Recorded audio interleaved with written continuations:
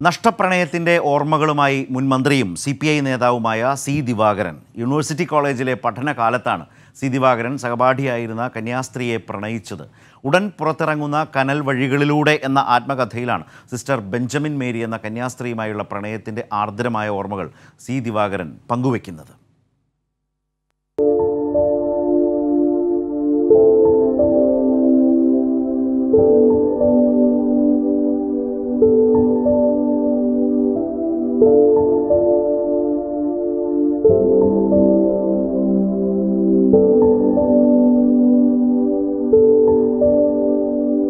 നിഷ്കളങ്കത നിറഞ്ഞ കണ്ണുകൾ.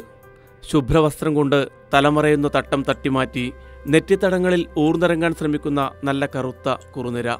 എന്തു പറഞ്ഞാലും നിറഞ്ഞ ചിരി. ലഹരി പിടിപ്പിച്ച തന്റെ പ്രണയിനിയെപ്പറ്റി സി ദിവാകരന്റെ വാക്കുകൾ.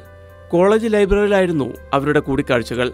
വിദ്യാർത്ഥി രാഷ്ട്രീയത്തിന്റെ ചൂടിനിടയിലും ദിവാകരന്റെ മനസ്സിൽ സിസ്റ്റർ ബെഞ്ചമിൻ മേരി എന്ന കന്യാസ്ത്രീ ആർദ്രമായ സ്നേഹത്തിന്റെ മഞ്ഞു പൊഴിച്ചു. ഒരു വേള തന്നെ കല്യാണം കഴിക്കുമോ എന്ന അവരുടെ ചോദ്യത്തിന് പക്ഷേ ദിവാകരന് മറുപടി ഉണ്ടായിരുന്നില്ല. പകൽ എരിഞ്ഞടങ്ങുന്ന ഒരു സന്ധ്യയിൽ കോടമഞ്ഞ് ചാഞ്ഞിറങ്ങുന്ന മലയിടുക്കുകൾക്ക് ഇടയിലെവിടെയോ ഒരു മാലാഖയെ പോലെ അവൾ വെള്ളിച്ചിറകുകൾ വിടർത്തി പറന്നകന്നുപോയി. ദിവാകരൻ ഓർത്തെടുക്കുന്നു. ഞാൻ ഈ കന്യാസ്ത്രീ വേഷമെല്ലാം മാറ്റി വെച്ച് ദിവാകരന്റെ കൂടെ വരാം. കല്യാണം കഴിഞ്ഞു ഞാൻ അവിടെ നിന്ന് ഇറങ്ങി പോയി. ഒരു മറുപടിയും പറഞ്ഞില്ല.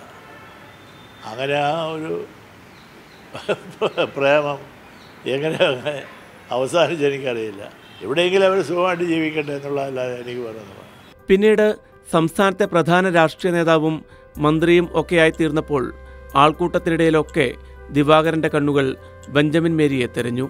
ഒടുവിൽ സുഹൃത്തും മാധ്യമപ്രവർത്തകനുമായ എബ്രഹാം മാത്യുവിനോട് ദിവാകരൻ ഈ പ്രണയകഥ പങ്കുവച്ചു. ഒരിക്കൽ നഷ്ടപ്പെട്ടു പോയ അവരെക്കുറിച്ചുള്ള ഒരു അന്വേഷണം ആരംഭിക്കാം എന്ന് കരുതി.